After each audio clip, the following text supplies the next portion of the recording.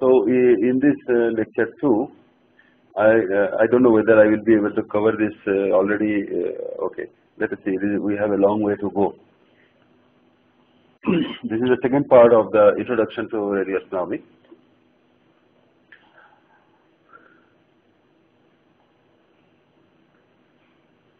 Okay.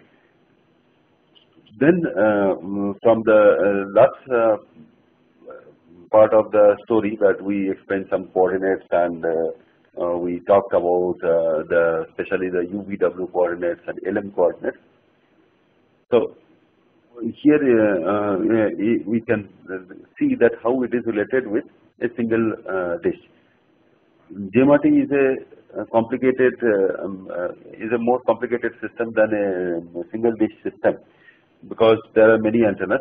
But to simplify things, first I will talk about uh, how you can uh, do radio astronomy using a uh, single antenna. Yeah. So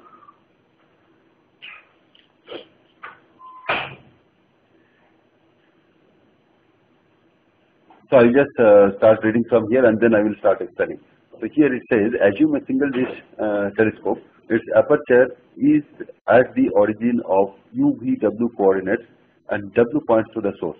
In the last lecture I said that W is the coordinate of the UVW um, coordinate system which always points towards the source and the beam of the antenna will be along uh, the W axis. So here you can see if you take a single dish, you can see that uh, it has some cross-sectional area that is um, pi um, uh, g square by 4 or something I don't uh, remember it, but there is definitely a proportional to the um, radius square. That is the area. Pi r square I think that that is what uh, it, it is. So that is the aperture uh, that is the physical aperture area of the antenna. And the antenna um, receives with some uh, uh, some energy it receives which is which comes in this area it receives that energy and uh, that energy um, is always uh, less than that would have been actually if you correct the energy over this entire area and that's because of uh, antenna efficiency and so on. So those things I will talk about uh, in, uh, various things about antennas in probably in the next few lectures we will be talking about them. But here for simplicity assume that um, this 100% efficient antenna you have a distant radio source and you have parallel rays coming here because it's much far away and it is reaching the aperture plane of the dish antenna.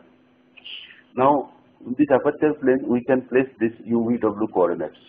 See here you can see this is the aperture plane of the antenna and the um, beam pattern of the dish is this one. And on the sky you can see the source. This source um, intensity will be distributed like this.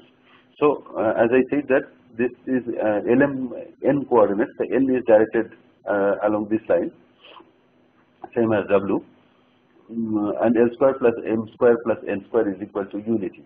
That is how they calculate it. So um, yeah, here these are explanatory, self-explanatory. So this is the distributed object field. Uh, this about this uh, radio distribution, and this is the antenna pattern, and this is the uh, great sphere. Great sphere means great circle, as I said last time about the astronomical coordinates. this is the sphere, and this is the distributed aperture field. The field in this area that will be um, caused by the rays that are coming here. So that uh, and uh, there will be distribution of electric field, changing uh, changing electric field and magnetic field may be there. And this is the aperture uh, plane. If you keep this diagram in mind, maybe in the next few slides when we go for the uh, several things that will come out from here, you will see. Now I will just read this one. On the sky led to, uh, since I, I may miss something, so I will read it. On the sky, let the two-dimensional electric field distribution be centered on uh, Lm. So this is the uh, distributed electric field that is a function of uh, Lm in the sky, Lm coordinates. On the UV plane, the electric field distribution uh, EUV. So here the distribution on this one is uh, electric field E uh, function of uh, U and V in two, these two directions. In W we are not considering it. Is a result of the electric field uh, distribution VLM on the sky. The, because of this EUV occurring here is due to uh, VLM occurring there.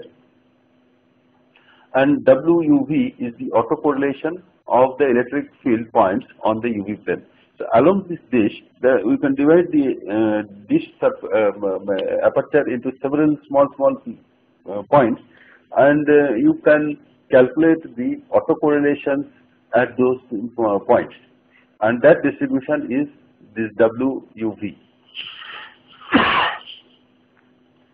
Now, you can map it. Uh, the mapping says that a two-dimensional Fourier transform of uh, this autocorrelation function WUV is the intensity field distribution ILM of the source in the LM space. You will see in more details. Just this for uh, remembering, but do remember this diagram. This diagram will it will come again and again in case of arrays and many other places. It will come maybe in next few lectures also. It will come. Now this is another concept which uh, um, people should uh, be knowing in, in, in, in communications people um, use um, these uh, formulas that KT delta nu or KTB, B is the bandwidth. Um, but uh, as engineers they may be applying it but they um, may not be remembering how they were derived. So here we come to this derivation. we consider a consider a resistor R at temperature T and if delta nu is the bandwidth in hertz, then the power available at the terminal of the resistor is, is the, this W is equal to kT delta nu, where K is the Boltzmann constant and delta nu is the bandwidth in hertz and T is in Kelvin. So then W will be in watts that is joules uh, uh, uh, joules per second. Boltzmann constant is given in joules per Kelvin. Okay. So this formula everybody knows that um, KT del, delta nu or KTB. This formula everybody knows. Uh, T is the temperature, K is the Boltzmann constant. Nothing complication uh, complicated here Nu for resistance R at a temperature T. Now let us take a um, okay. The spectral power W per unit uh, bandwidth is in watts per hertz is W is equal to KT. Okay. So if you remember divide this by this delta nu. So what you will be left out is is um, is watts per um, per hertz. And why we do this? Um, in the last slide again I um, uh, at the end of the lecture uh, uh, two I again I forgot to show you that one. This is uh, See, um, when you me measure uh, power over small bandwidth, sometimes the power may be uh, constant. For example, if you if you measure the noise uh, you over a small bandwidth, you can consider the average uh, distribution of noise over the bandwidth is constant. But from Planck's law and other uh, laws, you can see that the intensity may change with frequency. So this uh, um, change of intensity, uh, different frequency has to make us some something to be frequency dependent. So you can see the prism um, when it uh, actually it uh, spreads the white light into several colors. You can see the um, distribution of the colors over the over the uh, different uh, I mean each of these colors are of uh, different frequencies and their power may not be same. So therefore we need some characterization of the power for uh, some particular frequency and for some bandwidth. So that is why this bandwidth is coming in. Whereas for communication applications we have very narrowband signals or signals which are constant, uh, uh, which are uh, functions of sines and cosines, where you consider the bandwidth of the signal or the, the de dealing is different. But in astronomy, astronomy we are dealing with uh, noise kind of thing because the the signals that come from astronomical objects are like noise and they are spread out over the entire uh, bandwidth and the, there is a distribution also of this uh, noise that they do not remain same for in, uh, over the entire bandwidth they may vary. So if you uh, now we come to this definition, uh, definition the spectral power W per unit bandwidth is in watts per hertz is W is equal to KT. Uh, let us uh, take a uh, lossless matched isotropic antenna having a radiation resistance RR equal to R. Now what is an isotropic antenna? it is a theoretical analogy of an antenna that radiates equally in all directions. That is something, some power divided by 4 pi r square, the law of uh, the inverse square law of radiation, uh, it follows. So that is a isotropic antenna, but it doesn't exist practically, it is only a theoretical concept. Now let us take a lossless matched isotropic antenna having a radiation resistance RR. Now again I have to do the explanation for the radiation resistance. If the uh, antenna is perfect, I mean there is no loss or anything like that, then um, you can consider the um, whatever radiation falls into the antenna, it will make a power exactly, uh, um, it will derive the full power into uh, into a load resistance from there. Now that um, load resistance if you um, for maximum power transfer theorem if you connect another uh, the the output of the uh, antenna to a load resistance that load resistance should be able to uh, absorb the entire power. I will come to these definitions uh, in, more details in later slides, but just just for this you can remember that that particular resistance which absorbs the full power from the antenna for the time being you can remember this that is called the radiation resistance of the antenna for now. It's not that, you will know it in more details, but for now you can think that way. So the um, power at the um, at its terminals will be, so now that you have taken a lossless matched antenna having a radiation resistance RR, so you want to calculate the power on this one it will be 0 if the antenna doesn't receive any radiation and greater than 0 if the radiation is received. Okay. Now, if we place this antenna inside a black body, so here is a black body, you can see this is a uh, black body and you are placing this antenna inside. This black body is heated at temperature T so that it will cause it to radiate. So some the internal radiations will be received by this antenna. So we want to see what is the uh, power that is uh, available at the antenna terminal if we put the antenna inside a black body which is kept at temperature T.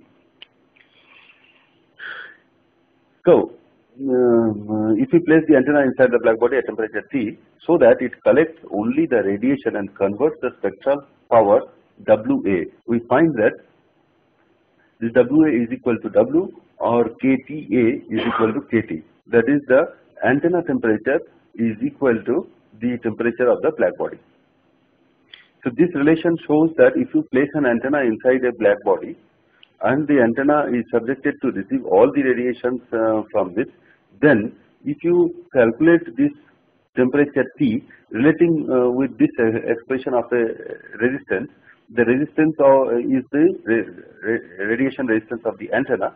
From there if you relate it, then you will find that the temperature it receives is the same as that of the black body. So uh, this is very important. We should develop the concept of antenna temperature and then only you can go for um, further more discussions.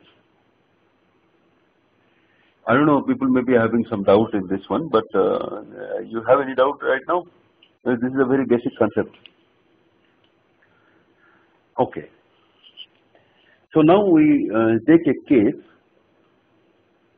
that uh, we have shown uh, in the last uh, diagram that that is this one. We showed that um, that the antenna temperature should be equal to the temperature of the black body. Now, instead of the black body, if you consider this, uh, remove this black body and you place the antenna under uh, the sky. Assume that the sky is also radiating and it receives the radiation. This antenna receives the radiation from the sky. Then the equivalent temperature of the antenna will be equal to that of the sky. Of course, that is not the um, physical temperature. A cold body can be made to radiate more electromagnetic radiation. This temperature is the sense of the electromagnetic power and subjected to the Planck's law where you get the temperature. So this, this temperature is related by Planck's law. We receive in radio and we follow the Planck's curve and we uh, go to that uh, top and we find what is the temperature and so on. That, that is how it is actually related. So this is a comparison. So um, we developed this um, concept of uh, antenna temperature from a black body and then we are applying it under the open sky. So this gives you the uh, sky temperature. The antenna temperature should be equal to the sky temperature. So I will read this one. An isotropic antenna enclosed inside a black body enclosure at temperature T. The antenna temperature Ta is equal to the black body temperature T. Sky temperature mm, T sky is picked by an antenna since its radiation pattern is pointing towards it. Well, the, there, there is something which I missed out. The radiation pattern, the entire radiation pattern, including side lobes and other things, should be directed along the sky. If you don't uh, do that one, then that uh, it has to be multiplied with the how much uh, pattern was not available and how much pattern was available, that ratio. So we assume that we don't have any side lobe or back lobe of the antenna and only it directs in this direction. So the entire power it collects is from the sky. Then in that case only we have this one that is the antenna temperature is equal to sky temperature. Now we go to the um, some of the principles of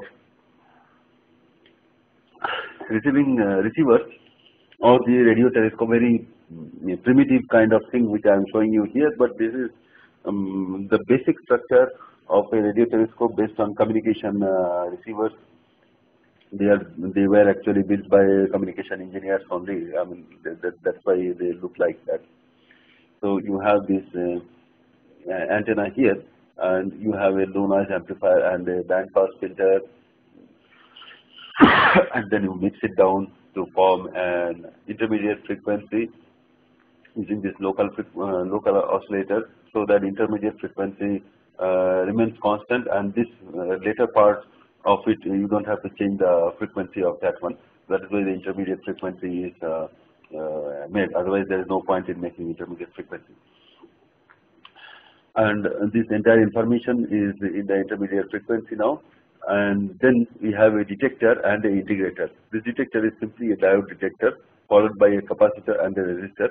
This RC determines that um, the slope of the integrator. And also the time of integration uh, you can find out from this.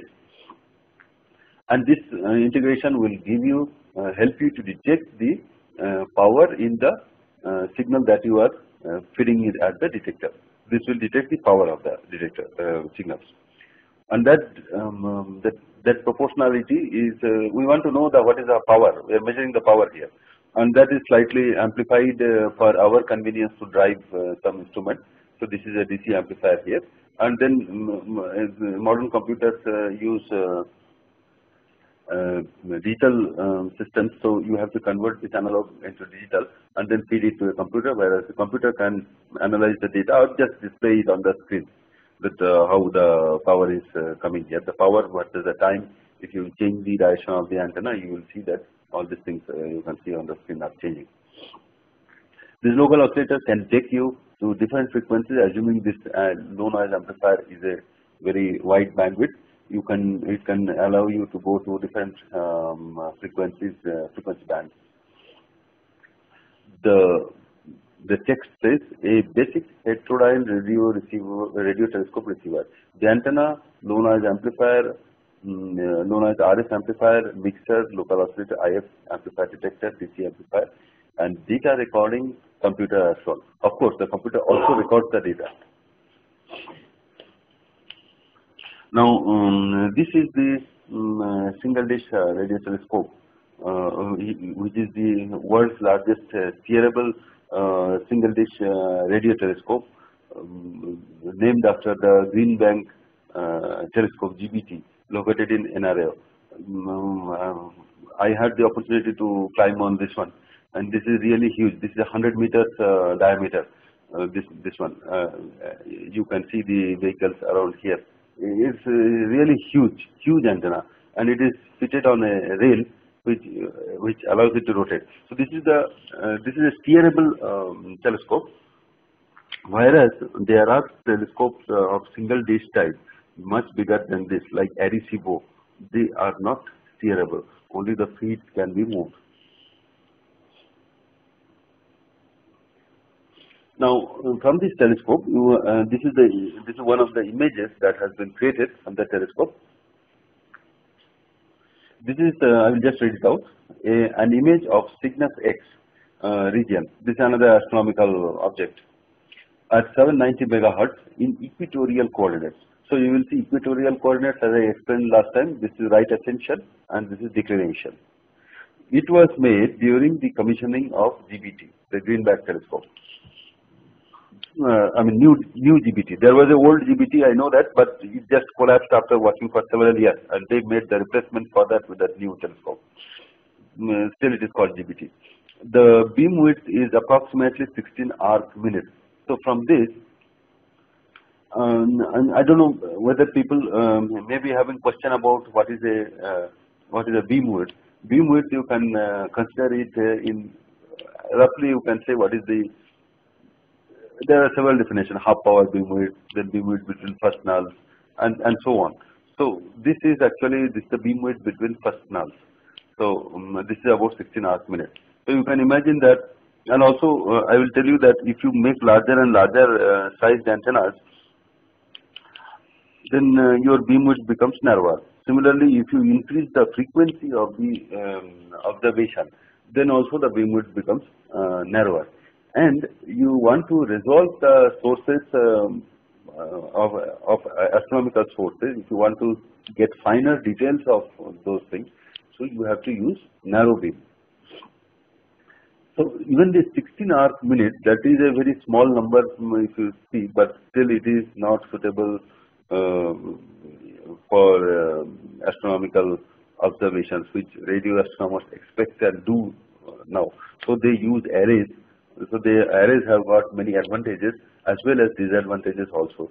The single dishes are a very simple uh, set of uh, things and also um, nowadays uh, when I go to the imaging techniques uh, if, uh, if I get time at that time I will tell you that single dishes are also to be included in uh, radio arrays for getting the um, lower frequency component in imaging and mapping.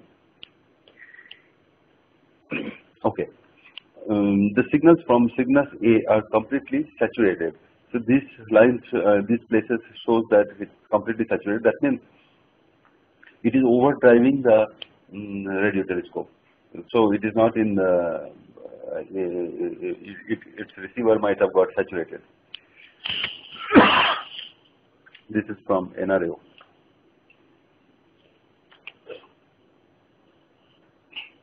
Okay. Now we go to the receiving principles. Some um, basic techniques, um, uh, these uh, formulas uh, you may be knowing or uh, yet to know. Uh, the for uh, improving the signal to noise ratio. Now I'll just start from reading here since I don't want to miss anything.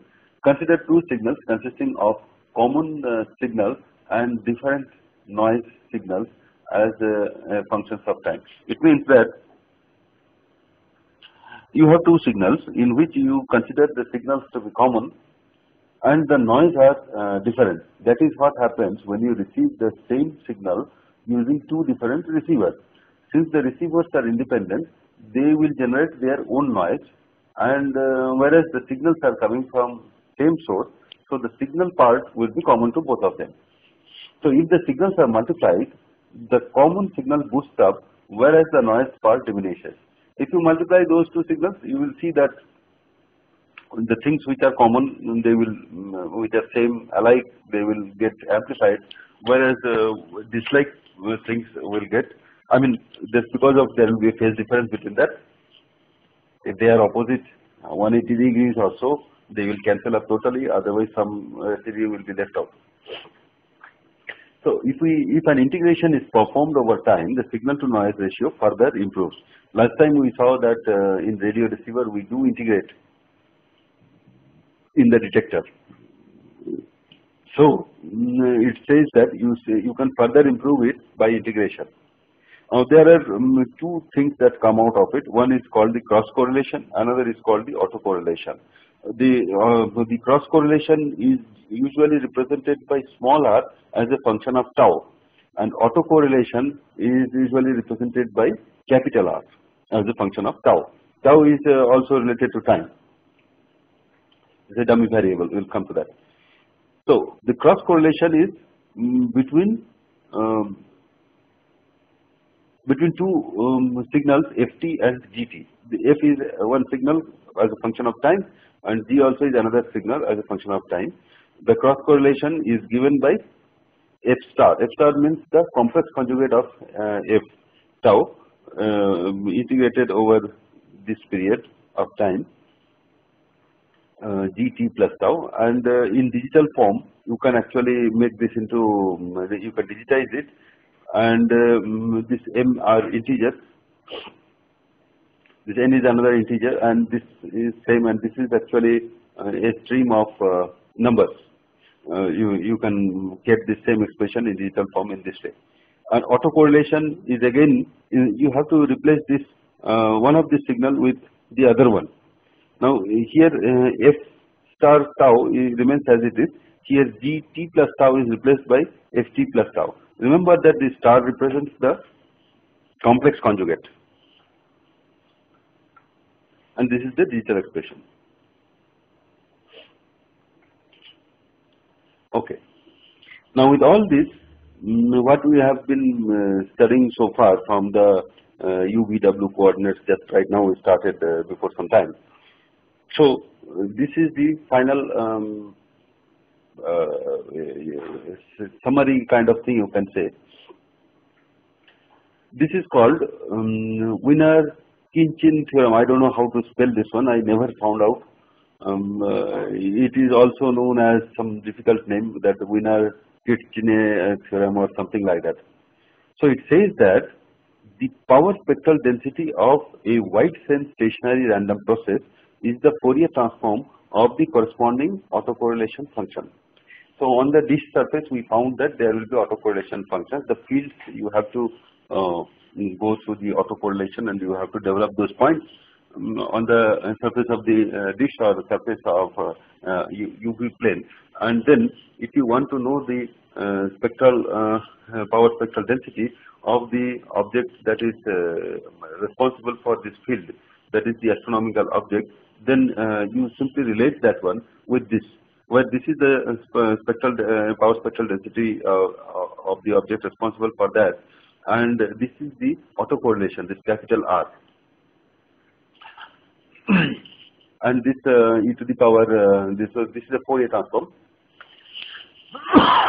of the autocorrelation function. So this part is the Fourier transform of uh, this part. This expression is the Fourier transform of this. This is what this theorem says. Now, in, uh, um, what do you mean by wide sense uh, stationary random process? Random process uh, in a random process as I said that there will be a bell-shaped curve or uh, of the probability density function as a function of um, the random variable probability density function of that random variable along y-axis and the random variable along x-axis. So from that bell-shaped curve you can find out what is the mean and the variance. If you remember the figure, uh, I am trying to remember it. So, if it is a um, wide sense stationary random process, if you try to calculate the variance and mean of those uh, of that uh, process after a gap of time, you will see that it doesn't change, it remains. Of course, you have to take a data over some period of time, little bit of uh, time, otherwise you can, cannot uh, calculate the variance or other things and all. But then what, what is meant by that is that the property of the random process does not change, the mean does not change and the variance does not change with time.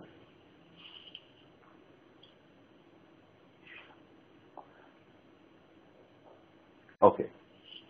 Now we go, go to the radio arrays. Now um, generally two type of radio arrays are used in radio astronomy. One is called the phased array, another is the correlator array.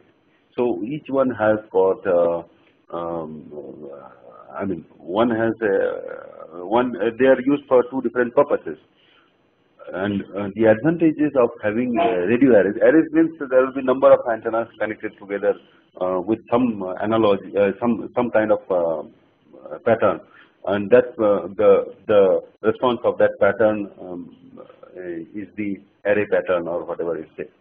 Now the advantages are here are these difficulties in constructing large single dish can be overcome by arrays multiple increase in signal to noise ratio as compared to a single dish.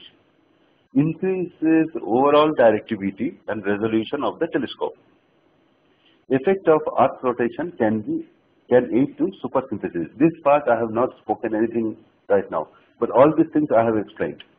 That um, uh, uh, uh, yeah, this I will talk about it after some time.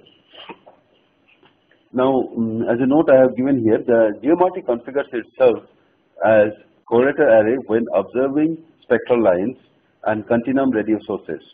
It configures itself as a phased array when observing pulsars. So, as I said that um, these, these two are for two different applications.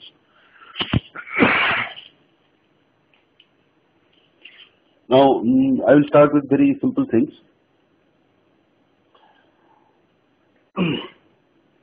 synthesizing uh, uh, a, a, large aperture using small apertures. So this is the topic, um, how do you make a large aperture um, or a large dish um, or a large antenna uh, using small, small antenna. So you will see what are the difficulties and what are the, where we get, how, how to construct that. So this is the basic ideas behind that. Each antenna has an aperture area as I said and uh, if you take a, a array of antennas, you should make sure the total aperture area is the um, aperture area of the simulated antenna. I, I, mean it comes automatically. A is equal to sigma if here there are four uh, antennas simulating this uh, aperture. So um, the aperture area, simulated aperture area is sigma um, i is equal to 1 to 4, a1, a2, a3 plus a4. This is what it is. But then, does it really work? So this diagram will explain you that. See, you place the antennas very close to each other. They are touching each other. Okay. Now um, these are the wavefronts of the signals. We consider these lines to be uh, uh, spaced as uh, one wavelength apart. Okay, uh, between this line and this line. So the phase at this line is same as phase at the, uh, this line of the incoming signal. Now we want to catch um, this wavefront the, uh, over a certain area. This area is this aperture area A. So if they are parallel to the, uh, this one, then you can take the signal and simply add each, one of them with another. This tau uh, represents uh, the delay. Uh, delay uh, you can provide or not provide. if you provide delay, uh, the delay also gets introduced because some cables will be connected and the signal that is received here will come here after some time. That delay also you can say that is a delay. So um, uh, here we are, uh, it's the purpose of introducing delay is to show that the, we we use um, techniques for introducing delays that we will see later. So here in this case we have to keep these delays same, either zero or same. So here you can see that T1, uh, tau 1, tau 2, tau 3 and tau 4 are same. Then only the same wavefront, if, if, you, if you are looking at this uh, direction, the same wavefronts will be looking, uh, will come to you. The plane of the array must be parallel to the wavefront. not suitable for a moving source on the sky. Suppose the source is here, then the wavefronts will be inclined and then uh, you have to adjust this delay. So we will come to that.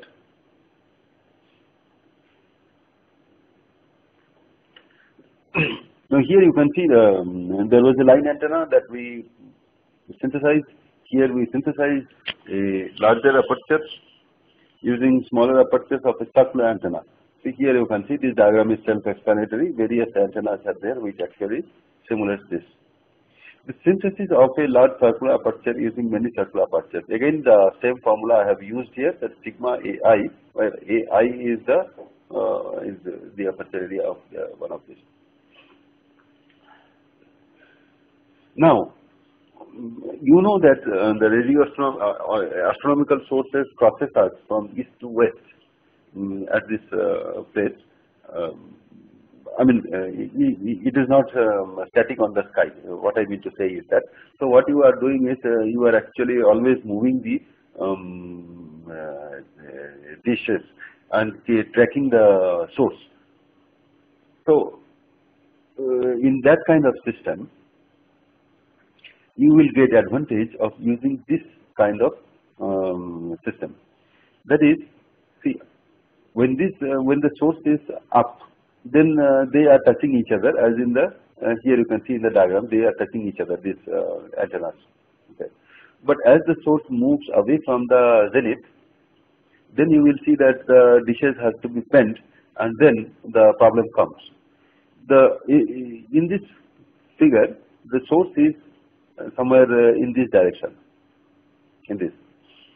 So this is the wavefront this particular wavefront will hit this antenna only after some time that is uh, proportional to this distance and again it will hit this antenna after another some time and another some time it will hit it. So what you are going to do you you want to uh, get add the same wavefront.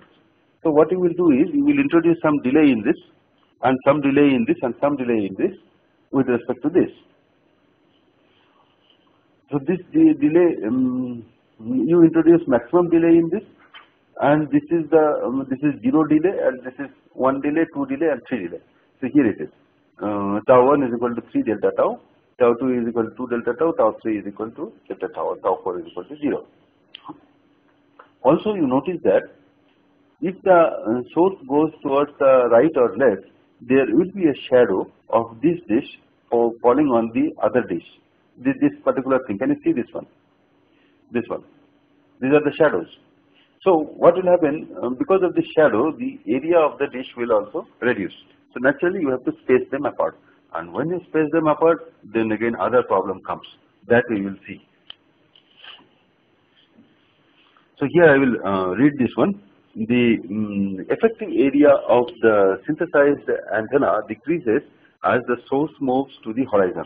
The delay is also constantly adjusted for a moving source.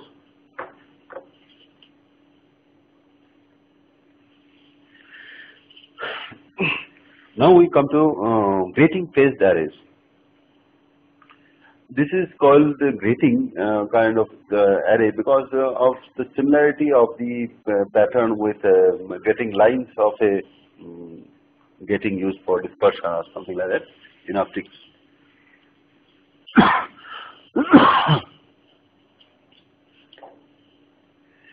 So, um, as I said to avoid the uh, shadowing of the uh, antennas over another antenna, you have to separate them with a distance. Now, um, uh, it's okay. Now, uh, here um, you have to add all of this and uh, this is the amount of uh, delay that you have to uh, give. You have to convert it into time. So uh, you are dividing it by c. c is the speed of light. Okay. So this is the length actually. If you see the distance between two antennas are d, and this angle is theta. So uh, this particular length will be d sine theta. And uh, again this is 1d, 2d. So this will be 2d sine theta and 1d, 2d, 3d. So it will be 3d sine theta. So this distance you have to convert it in um, time. So you divide it by um, uh, speed of light and you get the time delay to be introduced. So this this um, should be equal to 0, this one should be equal to delta tau and this should be equal to 2 delta tau and this should be equal to 3 delta tau. now what happens to the effective pattern of the uh, of the array? So here if you see this um, uh, this particular thing at the background, this light colored uh, thing you can see, this is the beam pattern. You can see that beam pattern is a function of angle and um, uh, the uh, normalized uh, power along the along this direction. So it has been plotted. Instead of a polar plot, I have uh, taken rectangular plot here. So it looks something funny. So it will be like this, like this, like this. These are the side lobes. This is the major lobe. This is the beam width between first nulls, and so on. And at nine, minus 90 degrees, they close each other. Uh, uh, no, no, I, I, I am not from the full thing. They actually close out. Mm, okay. So this is the uh, pattern of a single antenna. Or if you measure the beam pattern of a single antenna, you will see this background one. But then effectively, um, uh, when you combine this, what you are going to see? If you consider that the beam pattern of these antennas uh, to be not like this one, but it is a, a isotropic, that is, it is flat. So it is flat. So in that case, you will see the pattern of the entire system will be in uh, like this, will be like this, what you see here. But as soon as you have a pattern of this one, not a mm, not a circular or spherical pattern, then that has this has to be again modulated by that pattern. So here is the actual pattern that you will see. So you see that the phased array will have a peak along this direction then another um, um, side lobe here, another side lobe here, and there are many many side lobes here. So if you are able to squeeze this one, if you are able to squeeze the beam width of this, then you will try to extend this beam width as much as possible and reduce all other beam, beams, uh, uh, all other lobes. Signals are added after phase correction. Okay, uh, normalized pattern. I think I have not missed out anything here. I'll go to the next slide.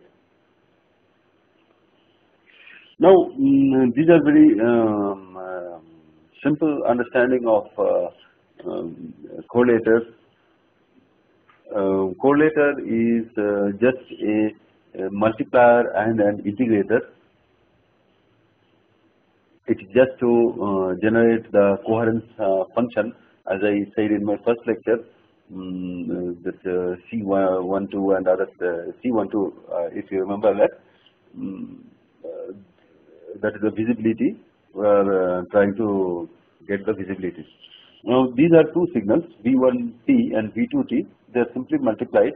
An integrator is um, you know what is integrator, and this is this gives you the um, average uh, multiply uh, multiplication over time. This this, this brackets indicate that um, it has been worked out. The integration has been worked out over a period of time. Now this small r is the cross correlation is a function of uh, tau g where tau g is the delay. Um, as I said that there is a delay between one and uh, another one that particular thing this tau g. So this is the basic correlator unit. Now, um, if you have um, let us say four antennas, then how many of these are required? This diagram shows that. So there there are four antennas: one, two, three, four. So um, here this formula is NC2. Uh, um, if you remember that permutation combination formula or something like that, this is expanded here. Na is the number of antennas. So Na minus one uh, by 2 into Na and that is equal to the total number of antennas. So here you can see that you can take correlation between this and this, between this and this, between this and this, between this and this and so on, between this and this uh, and so on. All these combinations are shown here and um, after this multiplication integration they are saved in a computer. Signals from each antenna pair are cross correlated and saved in a computer along with the autocorrelation product. autocorrelations are, uh, this is the autocorrelation product. See, it is just, um, you feed these two lines with the same signal. So you can see that for the same signal you are generating uh, a autocorrelation product.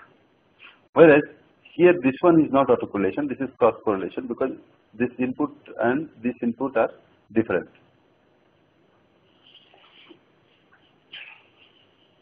Now, um, tentative plot of the fringe pattern formed by the antenna pair in cross correlation. So, this is the dish pattern and this is the cross pattern. So, this is the uh, pattern of the um, uh, correlator array. And uh, um, this, this dotted line is the dish pattern. This is the dish pattern of the single antenna here. This is the pattern of that.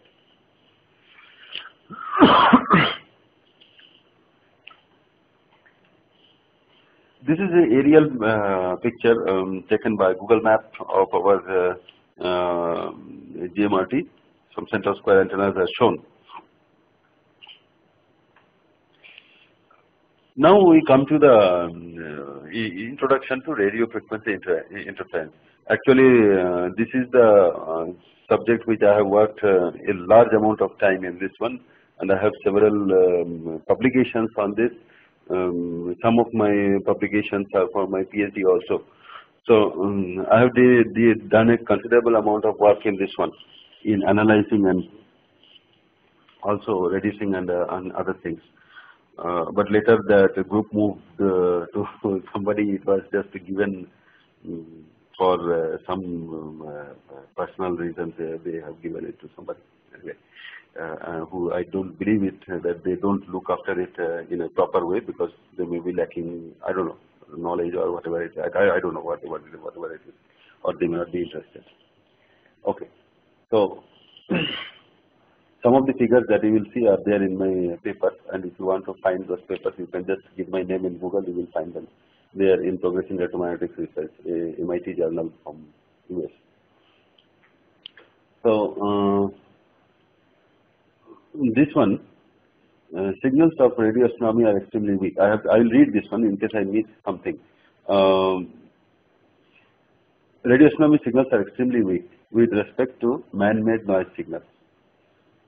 The radio flux received from our nearest star would be a few solar flux unit SFU, whereas distant uh, radio station uh, may produce millions of SFUs. So that is a comparison that um, sun, sun is our uh, nearest star and it is supposed to give maximum uh, amount of uh, I mean we, we, we are supposed to receive the intensity of sun which will be more than any other distant astronomical object. So sun is very close that is why. Even that power that we receive from the sun can be overcome by man-made radio uh, disturbances which uh, ought to be around several millions uh, of uh, SFU as compared to one SFU. This SFU is generally used for the sun, 10 to the power minus 22 watts per meter square per hertz.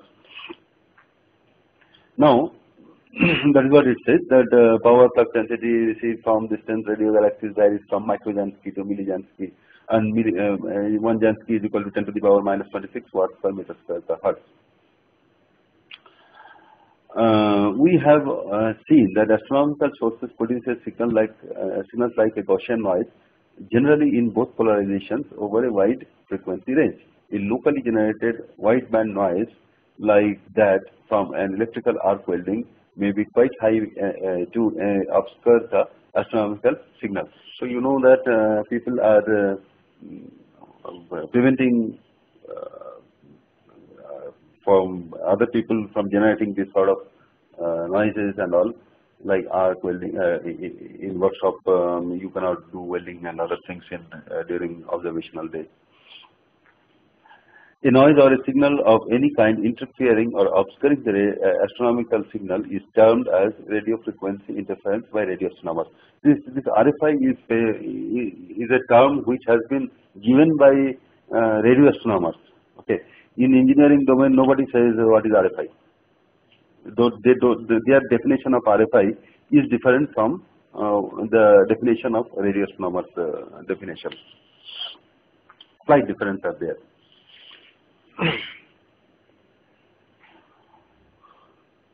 So um, yeah, since we have a meter wave radio telescope here, I will be talking somewhat uh, about them. RFI couples with uh, radio astronomical data through several ways. Um, uh, it mainly couples in the um, antenna itself and uh, that is uh, it enters through the side lobes and the mesh leakage and spillover.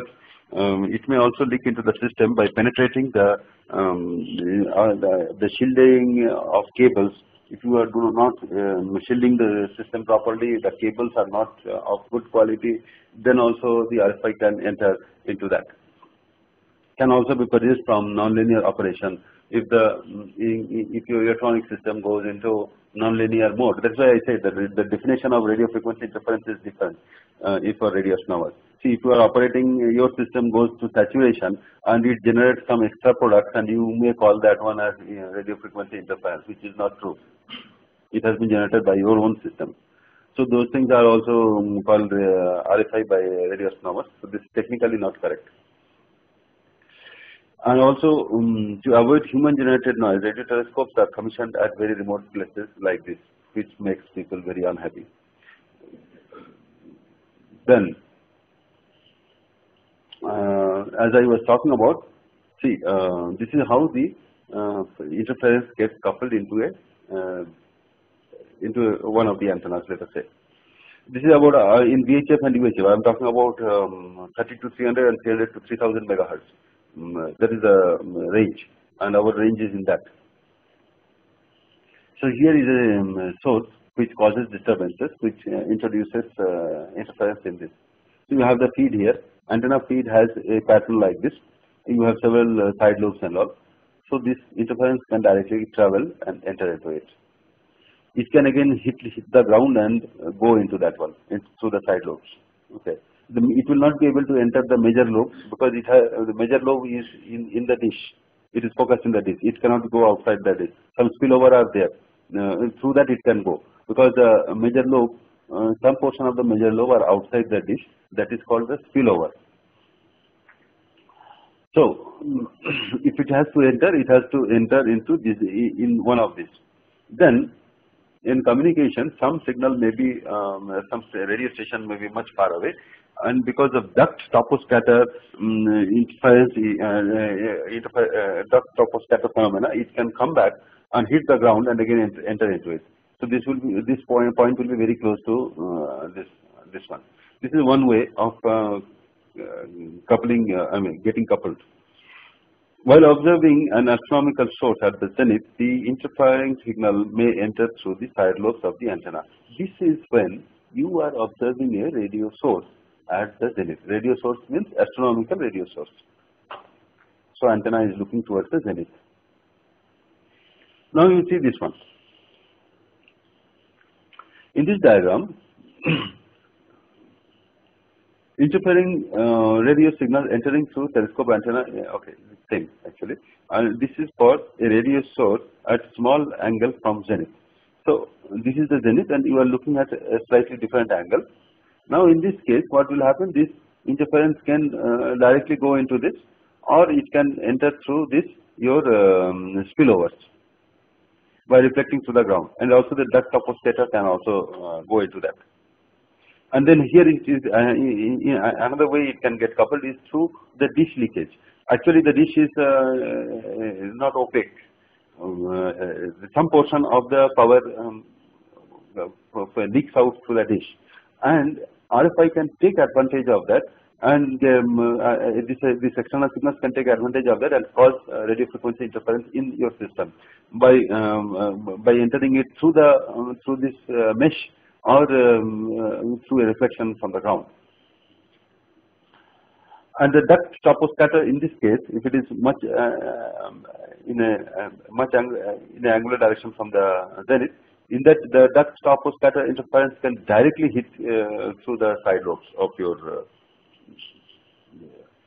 system uh, of, the, of your feed, antenna feed. So you see how complicated it is to um, design a, radio telescope. you have to think of many many things in this. You have to think about the communications, um, um, how you are going to uh, prevent all these uh, unwanted things from happening. You have to do a lot of uh, thinking before commissioning and designing uh, your telescope and also uh, you use Cassegrain or Gregorian or uh, offset feed and all those decisions uh, also have to be uh, based on this many of the things that come into play. Now we are going into the mm, aperture synthesis. This is just an introduction I will give. The actual thing I will cover it up in the um, final chapter. So this is just to give you a feel for it. What is aperture synthesis? So um, uh, I'll start reading from here. Instead of single uh, instead of a single antenna, an antenna array aided with the rotation of Earth can synthesize a large antenna aperture. This overcomes the difficulty of constructing single large antenna. This technique was named by Martin Ryle as supersynthesis. Okay. It is possible to use the Earth's rotation um, for multiplexing your antennas. Multiplexing means, um, in, in a simple sense, uh, I, I will tell that um, you want um, to observe a radio source, you know that its property does not change with time. For example, it may be following the Planck's law and keep on following and it will be radiating the same kind of radiation always. In such cases, today you can uh, measure it from some angle, tomorrow you can measure it from some angle, uh, and therefore tomorrow you can measure it from some other place, and over um, a period of time you can get acquire the data and construct an image from there. That is like having um, so many antennas at the same time. Since the signal does not change, you can do that one. Now, mm, so a radio uh, interferometer, you can do radio interferometry um, and you can construct a uh, image of whatever dimension you want, uh, I mean whatever resolution you want using only two two antennas. but the problems will be like time, how much time uh, and some of these things. But theoretically, it is possible to use. Only thing is that you have to have a facility of changing the distance between the antennas. Now also mm, one of these persons, Martin Ryle, who was uh, awarded Nobel Prize, the, this engineer actually uh, found out the technique for uh, super, called the super synthesis. Uh, for this technique, he got the he was uh, awarded the Nobel Prize for this. So uh, this man he found that it is also possible to take the advantage of the earth rotation for placing the antennas at different places because the earth is rotating so um, um, uh, you can use that one to position the antenna at different place because the source is not on the earth it is at a different place so you can always use that one our earth antenna you can always use that one uh, and take the advantage of earth rotation so this is this is the basic background of Mm, uh, I mean, these are the basic objectives of uh, uh, aperture synthesis. We will study three cases of super synthesis using an antenna array. These cases are based on observing a radio source towards the celestial north pole, observing a radio source along the celestial equator, observing a radio source along the celestial latitude of the array. So uh, all these three cases you can see now and we are going to enter into a slightly complicated diagram. I mean not now uh, in later later slides. So here you can see that this is the earth. Um, we are on this place, this is our area let us say and we have uh, an antenna array, uh, let us say it is in Y shape and we have several antennas along this direction, along this direction and along this direction and the plane of this will be uh, located here. So if the earth rotates, this uh, plane will be rotating along with this one. The text says, consider a large number of antennas spread over a plane area at some latitude between 20 degree and 70 degrees. Why I am telling this? Because um, I, if I am at, um, uh, we, I can be at this point or I can be at this point also. So the, this is a point which is between this and this somewhat like our GMRT um, uh, what are the latitude and longitude, you can see that it will be somewhat uh, near closer to this. So these antennas uh, track a distant radio source located on the celestial north pole. Um, due to the rotation of Earth, the entire array rotates as seen from the radio source. So your source of radio um, uh, source is along this direction, and you want to observe uh, using this antenna to this particular source. That is one of the cases. So here it is. Your source is here. All your antennas are focused towards the, um, the celestial north pole and there is a special um, um, uh, case of uh, UVW coordinates that is called as U dash V dash W dash uh, coordinate. That is the special case of UVW coordinate where the source is exactly located on the celestial north pole. Now, this particular uh, plate is your um, uh, array, and this particular plate is a plate parallel to the Earth's equator. This is your earth equator and it will be this plate will be rotating along with this plate. If you you are going very far away, so you can think that this has merged into this one because this distance is very high. So you can see that all your antennas are looking to the celestial source on this side and they are looking through this this plate. You can see this is looking looking through this plate. So um, uh, on this plate if you plot the uh, their time uh, pattern, you can see that on this plate you will see that your antennas are moving like this and this and this. So that way you can see that you are populating this area which is the u dash v dash plane from which you are constructing the image. So this will happen the more you observe over 24 hours you will get full circles for this. You will get full circles. Then after that if you take uh, another rotation you will again get a circle which will be overlapping this uh, uh, previous circle. So therefore you have to move the antenna to some other position and again do it. That is what I was talking about that you can uh, uh, if you have a, positioning ability with two antennas you can actually fill this aperture area this UV plane. So I will just read it out. Let a rectangular coordinate system uh, u dash v dash w dash is the origin of the center of the uh, plane of antenna. Let the source be a celestial uh, at celestial north pole to which w dash axis points. Let u dash v dash plane be stationary to the source. Due to the rotation of Earth, the antennas will appear moving over u dash v dash plane. So the, you can see that this, this is what I said as seen from the source. The loci a dash b dash and c dash of antennas A, B and C on the UV plane will be circled over a period of 24 hours. We record uh, the output voltage of the antenna and place them on the UV plane. Yeah, this point I missed out. So, so at this point, uh, at, at, any instant of time, the antenna will produce some output.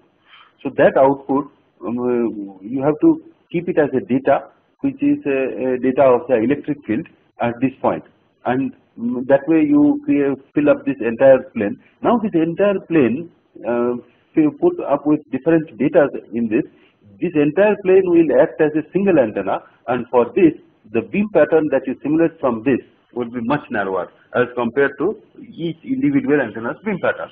So this is what you do in super synthesis and using the rotation of earth you are doing it. It's a very simple case. We go to another extreme case um, after this here. so now in this case what happens is you are um, uh, you, you, are inclined like this but you are looking at something which is uh, on the celestial equator. So in this diagram you can see that your source instead of getting to uh, being here you are looking at a source which is in this direction. So you will be rotating and looking and along this direction. So your um, the, the, this this is a plate perpendicular to the direction you see. So you will see that your project your antennas will be projected here on this, and this forms the UV plane because W should be the axis along which the uh, source is. So now you see that the projection is here and um, in this case the projection will uh, form out uh, instead of um, circular or elliptical kind of thing it will be straight lines. So the, the, the important part here is you are not uh, in 24 hours you will be actually covering this along this direction and again coming back. So your another 24 hour observation will be complete waste. So here you cannot do that one. Another 12 hour observation will be complete waste. So uh, in other case what was happening is that they were mapping uniquely on this each point in for a 24 hour duration. Here it is not so. For 12 hour it is unique, but uh, next 12 hour it is not. And also you want the UV plane to be in two dimensions because this will be the final aperture area of the synthetic antenna, synthesized antenna. Okay, I will then uh, start here. Uh, last time we went to some of the slides coming under this topic, this principle of aperture synthesis. I will um, go through this slightly again.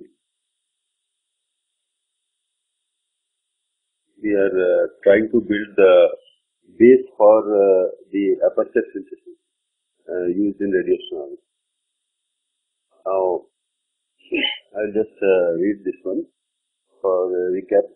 Instead of a single antenna, an antenna array aided with the rotation of Earth can synthesize a large antenna aperture. This overcomes the difficulty of constructing single large antenna. This technique was named by Martin Ryle as supersynthesis. So here we shall uh, study three cases of supersynthesis. Observing the radio source towards the celestial north pole, observing a radio source along the celestial equator and observing it along a celestial latitude of uh, the antenna array between north and uh, uh equator. So before that, we I show you the geometry of this here. See, this is a antenna array consisting of uh, this. Uh, you can see three arms are there, something like this. These are the antennas. These dots are the antennas. And uh, on the Earth, this is between. Uh, this is the rotational axis of the north. This will go to the celestial north pole, and this will extend to the celestial uh, south pole. And this equator will uh, you can extend it and it will become the celestial equator.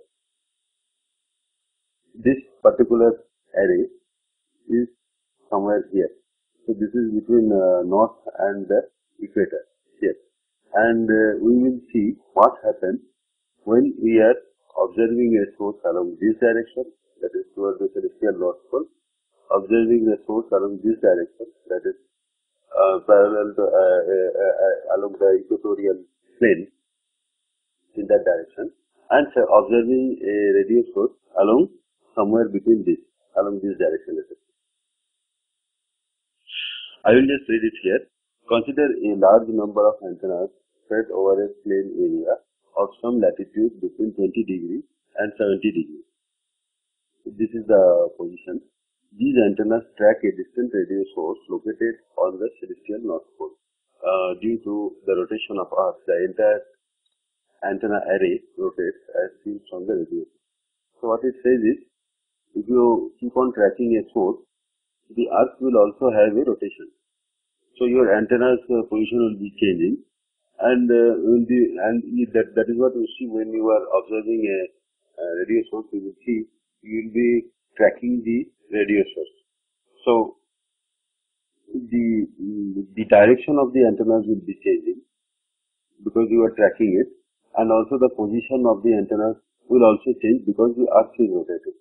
So using both of these we will try to uh, build a larger antenna. Not the just the array what we have here but uh, these array can be multiplexed as um, different sources for uh, different antennas for different positions. That is, as the earth rotates, the position of the antennas with respect to the source changes, and so at every instant of time, you can think that think as there is a separate set of antennas observing it, and again after some time you think that there is another set of uh, antennas observing it and so you construct a very large um, antenna system and this is possible only for sources which do not change with time.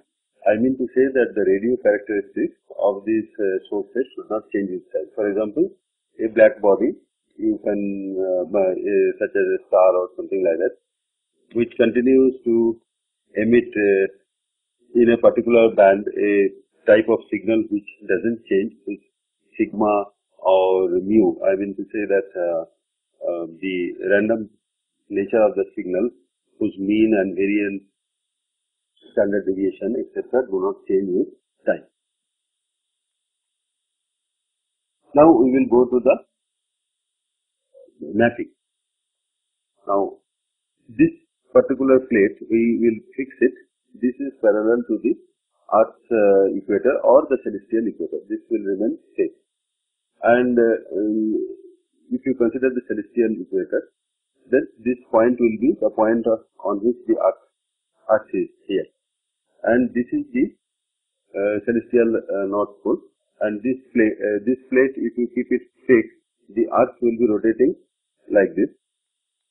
It will rotate, continue to rotate like this. And so, this is the plane in which the antennas are there. That is this one. This is this one. So, on this plate, this plate will rotate with the earth. On this plate, you can see that there are several antennas that are this uh, Y-shaped or something like that. Here I have not shown Y-shaped. I have given uh, some three antennas here, A, uh, B and C. These A, B and C are sitting on this plate. So as it uh, as the earth rotates, we know that the source is at the uh, north uh, celestial celestial north pole. So if you see the antennas, the projection of the antennas on this fixed plate. The position of antenna A is A dash, B is B dash, C is C dash. So when this one rotates, this point will move on this, on this plate. So that is shown here. So you can see that the uh, uh, the the projection A dash is here. It will move like this the projection B dash will move like this and projection C dash will be moving like this. And also you, uh, if you remember, the UV plane, UVW coordinate, you know that the W axis always points to the celestial, uh, always points to the source. So a special case of UVW coordinates is U dash, V dash, W dash coordinate. That is when the source is at the celestial north pole, exactly on the celestial north pole. This is same as that except that this is a special case where you consider the uh, source to be on the north pole. Now, uh, you can see it here. So, on this UV plane, you can see that the location of the antennas are moving. Now, if we uh, take the data of uh, uh, the antennas, or uh, let us say the the uh, the power output from the antenna. And if we put at this point at time t1, at time t2 we put it at this point, at time t3 we put it at this point and so on. Since the the characteristic of the source does not change, so you can see that after a long period of time, this entire area will be filled with set of data. So this is the uh, this is what is done in synthesis um, synthesizing um, earth rotational synthesis or super synthesis, whatever you call this one. So I will just read this one in case I miss something.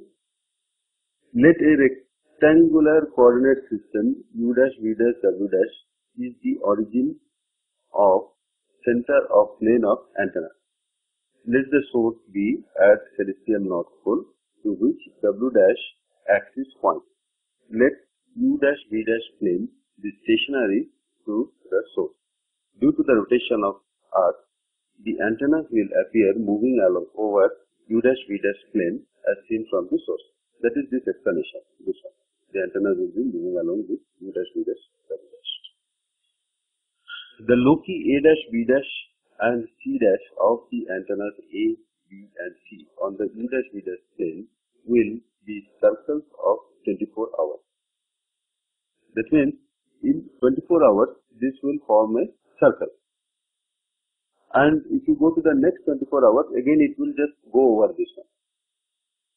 So um, there is no point in observing a celestial a, a, a, an object at the celestial north pole for more than 24 hours unless you change the physical position of the antenna. That means you have to bring the antenna somewhere here. So you make another line here in another 24 hours. Or you have many antennas. So you will have many. Your idea is that you have to fill this uh, UV U dash V dash plane so that this entire thing forms the aperture of the synthesized, uh, synthesizing antenna. So that will form a new antenna. This data is spread along this and with this data you can analyze the shape of the source in two dimensions or the intensity distribution of the source. So that is the idea. So therefore in here, um, if some of you must be knowing about uh, VLA, where they have the ability to uh, move the antenna. So uh, the, uh, they move the antennas because they want to populate this uh, U dash V, uh, plane or UV plane more. So they adjust the baselines. Baselines is uh, um, the distance between any two antennas. That is a baseline form for correlator system formed by the two antennas. So if there is any question you can put because this may be slightly difficult to understand. Okay, so this is the case when we were observing at the uh, celestial north pole.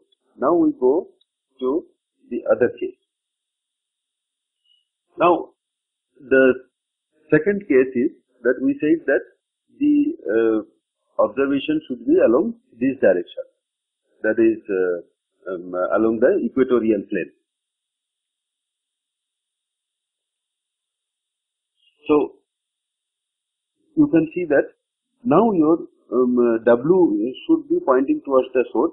So your UV plane becomes perpendicular to it and this plate is fixed here. And we want to see what will be the projection looking like as the earth rotates of these antennas A, A, A dash, B, B dash and C, C dash. As the as the earth rotates, it will be rotating in this direction. The the source is much far away it will remain um, with respect to the source. Uh, you can see that this plate we have fixed with uh, respect to the source. We always fix this one with respect to the source. So the projections uh, we have to see how it appears on the UV plane. If we are able to populate the UV plane in two dimensions, then we can form an image of the source. How we form the image? That is by Van uh, equation that I will explain it slightly uh, after this, slightly later. So in this case, you can see as the earth rotates, these antennas will um, form straight lines on this plate. So this is the UV uh, plane, and uh, you can see in first 24 hours it will go, uh, first 12 hours it will go along this direction, and next 12 hours it will come back in this direction. So, so here you can see that you have to observe it only for 12 hours because the next 12 hour observation will give you the same result. Or if you want to observe it more than that, so after 12 hours you have to change the position of the antenna. So you can form another line here, another line here, another line here and so on until this gets fully occupied. When you have sufficient data of this, then you can think that this is the aperture plane of the synthesized antenna and if you uh, relate this uh, with the source, you can get the source intensity distribution in the LM coordinate system. Now in case I miss uh, here something, uh, uh, I'll read this one. Here the Loci A dash, B dash and C dash of antennas A, B and C on the UV plane form straight lines. Thus, if all the antennas are posited on a single east-west line, then the Loci will fall on straight line. Hence, the population of UV plane will be one dimensional, which is not sufficient for making a radio image of Fourier transformation. Okay. If you have an antenna array, now uh, this uh, says that why you have a shape of, uh, like for example, GMRT has a Y shape uh, kind of thing. The uh, reason for keeping Y shape is that the the the loci on this UV uh, plane, this one, if you keep it in the east-west, let us say we have only the east-west array, uh, we don't have the other arms, then what it will do is it will form only a straight line around this. So you won't have a data along the um, one of these axes. Uh, maybe this is uh, uh, uh east west uh, along US. Yeah. So, so you won't have a data along this direction. So your UV plane will only be one dimensional. And from one dimensional you cannot map the source you need a two-dimensional uh, UV plane to map a two-dimensional um, source. So therefore, um, you have to have antennas in other direction. So you have to get a direction along this. This is for the source when it is on the celestial equator. For other places, for a latitude of uh, uh, GMRT, um, it, it can be done uh, by any other source, uh, any other position of the source can be done using a east-west array for where we are standing actually, uh, GMRT. But it may not be true for um, other arrays where the array may be in the uh, near the north uh, pole and uh, or just on the equator and east-west array uh, can, can, be a problematic thing. So uh, we, we will see all the details uh, in later slides. I will look at it. Um, I, I, think I read this one. Hence, the population of UV plane will be one dimensional. It is therefore necessary to have some antennas separated on the north-south axis. So this explains that why we have a, a different uh, uh, positioning of the uh, antennas. So we should have some antennas uh, having a component along the north-south axis.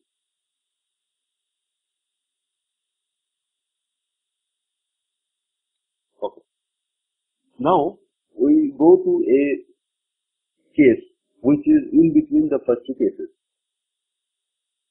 And here again you can see this is our um, plane of uh, antennas. It rotates like this whereas it is observing a source along this direction.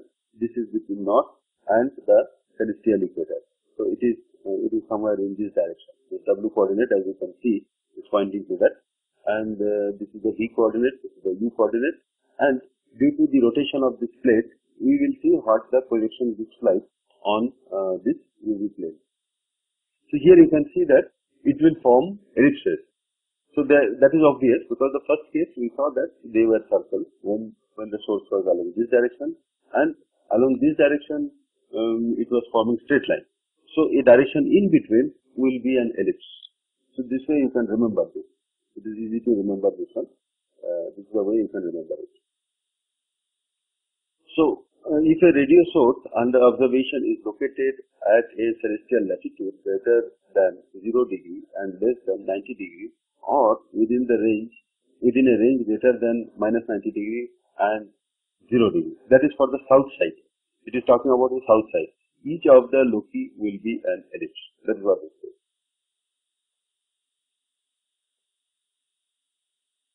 Now, uh, these are some of the things what we have to remember. For making a radio image, we need to do the following operation. Compute the spatial coherence function known as visibility from the values of cross correlation. Cross correlation we have discussed that is a um, that is between the signals of uh, two antennas coming from the uh, from a common source uh, cross correlated. This is represented by small r and autocorrelation is uh, the is formed by the same antenna by correlating with the same antenna thing that comes as that that is usually uh, represented by capital R a tau g is the delay between the two antennas. That is the signal reaching uh, the other antenna, the wavefront that I explained much before. So put some delay in that so as to adjust so that the same wavefront uh, uh, appears at the final end while you are multiplying or uh, there they should be in phase. So this tau g is the delay. The visibility is nothing more than scale value of cross correlation. It is a function of UVW coordinates represented as V function of UVW. Place the visibility value on the UV plane. Apply the spatial Fourier transform. Okay. The visibility, uh, as I have uh, shown in the previous diagram, the uh, we, we want this UV plane to be populated and this should be populated with the visibility. That is the cross correlated term. This uh, data should be that. That is what it means. Place the visibility values on the UV plane and apply spatial Fourier transformation. Also, I forgot to tell you that if there are three antennas, then you know that the, there will be several correlation products. Between this, this, there will be one. Between this and this, there will be one. Between this and this, there will be one more and so on. It comes as um, combination of NCT where N is a number of uh, antennas. So they, you see from um, if there are more antennas, then it uh, increases more and more the visibility, and so your populating the area becomes easier.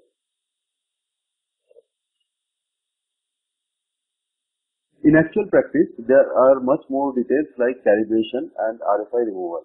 So I, I have told you about very simple, uh, I mean just the foundation that what is happening. But in actual practice, uh, you have to remove the RFI from the data. Those data showing RFI, uh, you cannot use them while producing a, a map of the astronomical source. So you have to remove it. These, all these things comes under image processing and that will be uh, probably the one of the final chapters. Then these are performed before the Fourier transformation. Okay, first the data that comes from the telescope that is kept, that is actually cleaned up from this uh, unwanted artifacts or uh, radio frequency interference line, and then a calibration is formed because the, there are several antennas and uh, each antenna may be having a uh, gain or phase problem. That is, with respect, we have to consider one antenna as a reference antenna.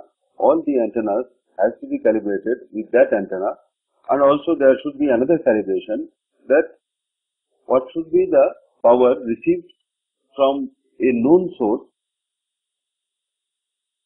Known source means whose power is known so with that you can find out what is the power that you receive from the from one of these antennas and then all of them has to be normalized or calibrated with respect to that. So you don't get ups and downs in the data from various antennas and also the phase calibration has to be done. So with respect to your position you should receive the correct phase from your reference point. Now the image obtained from Fourier transformation is dirty image. Okay. Dirty image means the first round image, if you just calibrate the data and take the um, Fourier uh, transform of that one. What Fourier transform, I, I will talk in the later places, just to relate it with the LM coordinates. So you will get an image and which will consist of many of the things, many of the artifacts and all so gradually you have to, uh, these artifacts uh, may look like something extra is there in the image, although it may not be in the, on the sky. So you have to clean it. So this process uh, mm, is called uh, cleaning or whatever it is. Clean, there is a technique called clean.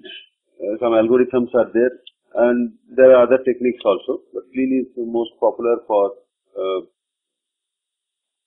sources having very uh, smaller angular resolution for that clean technique is better. And the other technique is uh, generally called the maximum entropy method.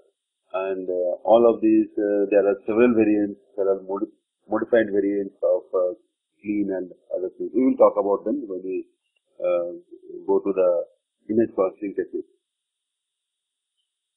Now, as I said, the image formed from Fourier transformation is dirty image which are further cleaned with different iterative procedures until the acceptable quality is achieved. Now we go for understanding that this is slightly uh, difficult, uh, I mean this is slightly complicated uh, and all. You have to carefully listen and in case there is any kind of uh, uh, query just uh, put it. Today I will try to give more explanation to, if you do not understand anything just tell me that I will try to re-explain it again. Now, before going to this diagram, I will take this simple diagram. You have a radio source somewhere in this direction and consider that consider a simplest interferometer. Interferometer consisting of two antennas. These are the two antennas. This separation between them expressed in terms of wavelength is d lambda. That means if this distance is some d meter, observed at a frequency nu, then you find the wavelength lambda of that and you divide this distance by that wavelength to get d lambda. This is d lambda. Now as you see that the source can rise up and down depending on which your angle of the antenna has to be changed and so that this um, w axis always points in this direction. So in this case your UV plane will lie along this and your W will be lying along this direction. The uh, quantitatively this W looks like uh, quanti uh, quantitatively this is the magnitude of uh, W. Some relation with cosine of sine cosine of the, the angle. It's very easy. Now this one I have drawn it here in three dimensions So, it is observing a source. First, let us see the source. The source is here. This is the celestial sphere. This is the celestial sphere. This is the celestial north pole. And this is the celestial south pole. And on the celestial sphere, we think a radio source exists. And the radio source will have its intensity distribution. That means the intensity uh, uh, around different points on the radio source will be different. That is indicated by this contour this is just pseudo kind of thing, so you have to keep it in mind. And one of these antennas has to be the reference antenna. So this is antenna 1, this is the reference antenna here. With respect to this, the other antenna has to be taken up. Now, between these two antennas, this is uh, in the vector form I have written it as this d lambda I have put it as here. This is the 1 and your W is pointing to the source. This W in this direction, that is this W is pointing to the source. Your source has a distribution of uh, intensity as a function of L m coordinates. This is uh, this is L coordinate, this is n coordinate, and in this direction there is n n coordinate which is not required here. I have not shown here. So the total of this is uh, the square of L square plus M square plus N square is always unity. Now, if I consider this as the phase reference uh, position, that is of the uh, we consider that the, the, from this we will plot uh, the, with this as a phase reference we will plot all the intensity distributions along um, uh, this. You can think it that way. So your antenna is uh, um, uh, this W is has to point towards the source reference position, uh, phase reference position. so now we have one more diagram which I showed before. This one. If you remember this diagram, you see that this is the reference antenna. This is the XYZ coordinate. And in this coordinate, you have all this is a rectangular coordinate. In this, you have always the z is pointing towards the celestial north pole, and y points towards the uh, towards the east. Okay, and x points in a direction in which your meridian of the local meridian of the reference antenna lies. This is this one, and you can see that x is pointed along this direction. Direction. And the baseline vector that is this one because this is the other antenna. So this is the baseline vector. You can say it as d lambda. Here it is d uh, absolute. You can put it scale it to by dividing it by uh, lambda. And if you uh, remember this uh, formula that um, this one you can geometrically expand in terms of x, y and z as components and so that d will be equal to x square plus y square plus z square to the power of half. And also using the hour angle and declination, the hour angle between uh, this antenna, that is the reference antenna, and the other antenna of the interferometer, that is uh, that is h here, here, and uh, this is your declination. So um, with this you can form uh, you can get x y z from uh, h and d. From h and d you can calculate x y z. Here. This is just for recap okay. Now we come back to this one. I'll just read this one now. Let the origin of the lm coordinate be at the phase reference position of the source that is the origin uh, is here. That's the LM coordinate origin is at the phase reference position of the source. Radio intensity distribution of the source on the celestial sphere is ILM. I function of LM. This is this one. Sky intensity brightness at frequency nu in direction S bar or uh, this along the direction S is I S bar. So your um, antenna has a pattern which will also uh, the antenna is not uh, looking at the same direction but it can also capture some power from the other direction also because the antenna beamwidth is finite it is not uh, it is not zero so it will capture. So um, looking at along this direction you will get some power. And so that power is I function of S bar. Now you can see that S naught is the phase reference position vector. And uh, this is the some point uh, and this uh, uh within this angle d omega. This is the solid angle d omega. You get this power is and you can see a vectorial addition of uh, this vector plus this vector will result in this vector. So this is uh, this vector we call it as sigma bar and uh, AS bar is the effective aperture area of an antenna in same direction. So you have to calculate the effective aperture area of the antenna in various directions. So this is the uh, in, in this direction.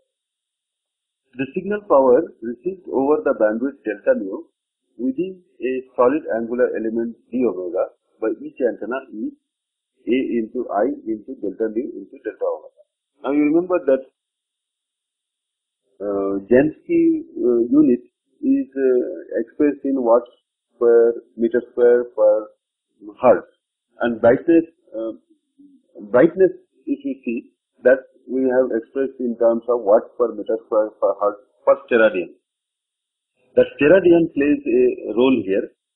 So if you multiply that um, with the antenna, uh, if this is this watts per meter square per hertz, this one with intensity, and if you multiply with the antenna aperture area, which is in meter square, so that meter square will cancel out. Then again you uh, multiply it with this bandwidth, so that per hertz will go away, and then you multiply it with this solid angle d omega. So per steradian will also go away. So finally you will get in watts. Okay. Now this is for one instant of time. Let us see, um, uh, there are other uh, complications of this one. This uh, mm, people have to read on their own because even though I can, I am trying to explain it as much as possible, for people who are new, it may be difficult. For people, experienced people, they know this. I don't have to, I have nothing to say about that. For beginners, if they want to know, they have to read some literature or uh, even the slide uh, may be for them. Now,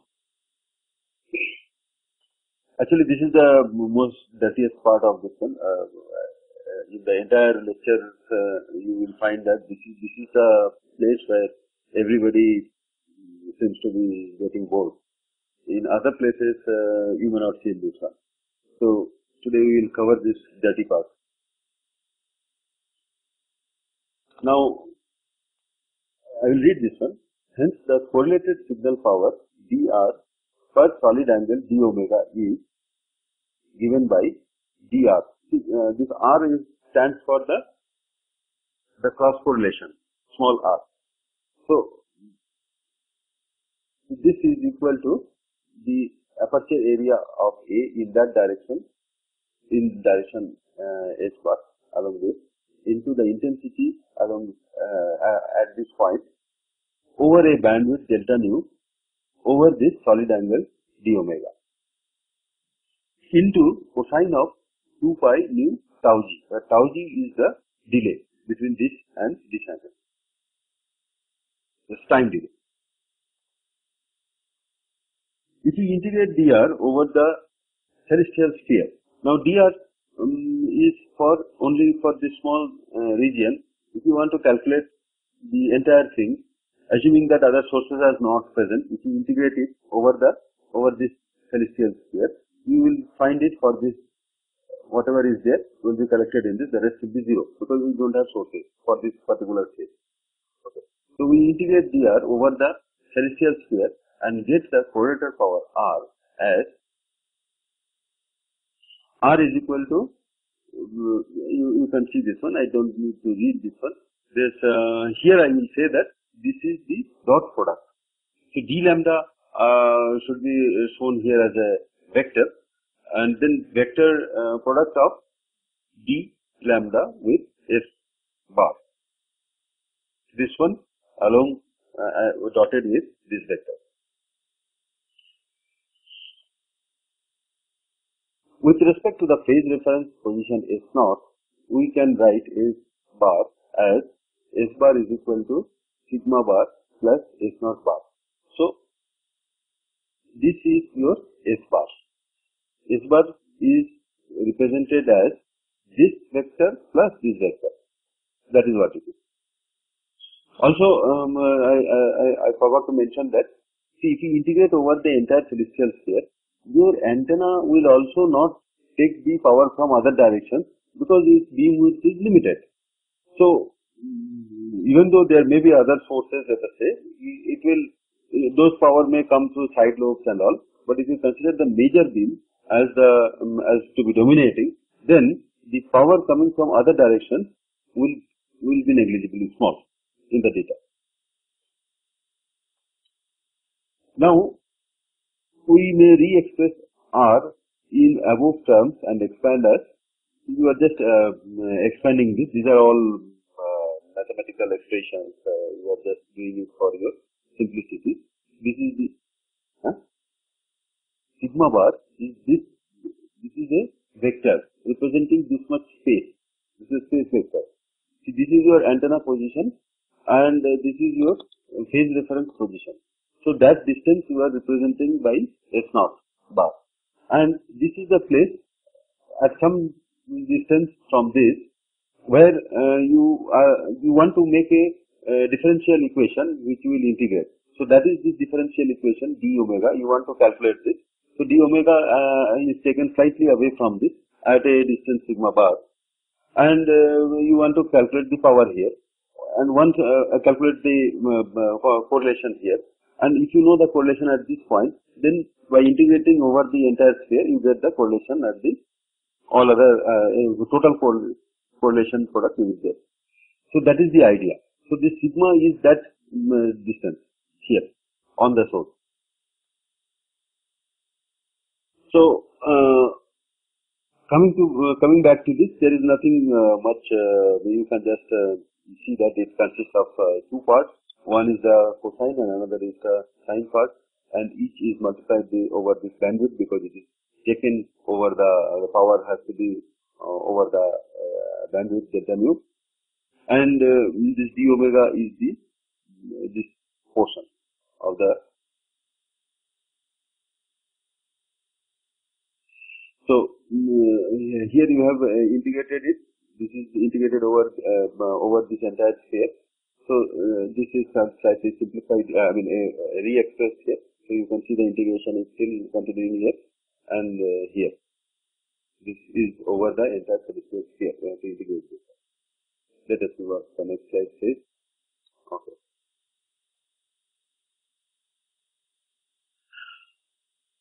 Now, um, we uh, we uh, let me tell you that visibility uh, is related to coherence and coherence is again related to the mm, cross correlation or maybe autocorrelation in some special case.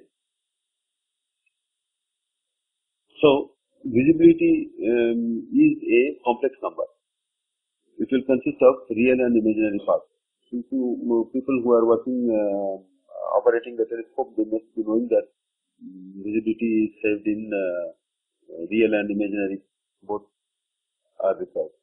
So, you can express this complex number either real plus j into imaginary part or you can represent it in terms of magnitude and phase.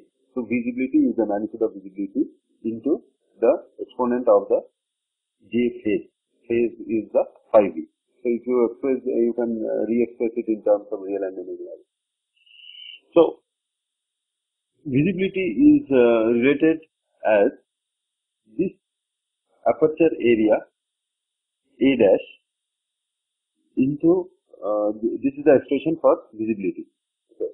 Here A dash is not the same as uh, A here. It is related to that.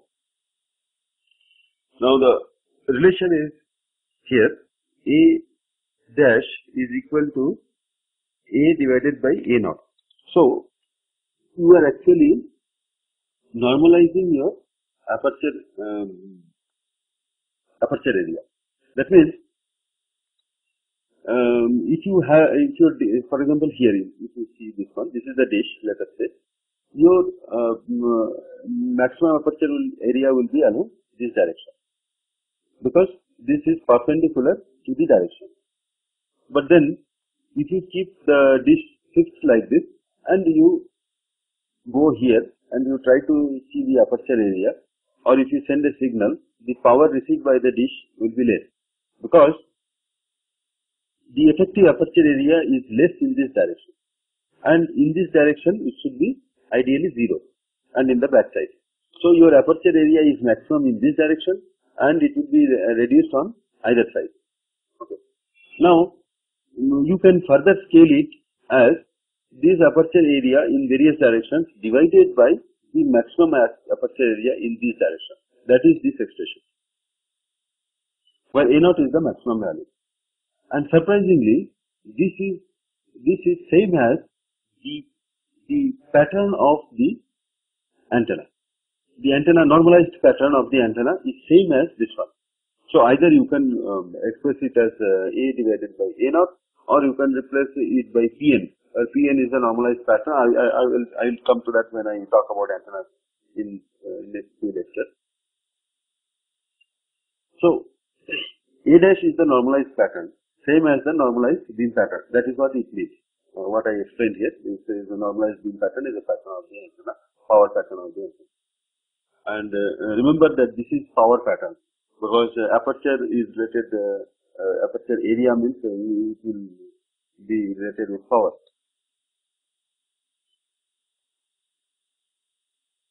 Now you just um, do some mathematics here. You just separate the real and imaginary parts and uh, you get this expression and this expression. These are real and imaginary thoughts. And thus uh, the correlation R, R in terms of visibility becomes this.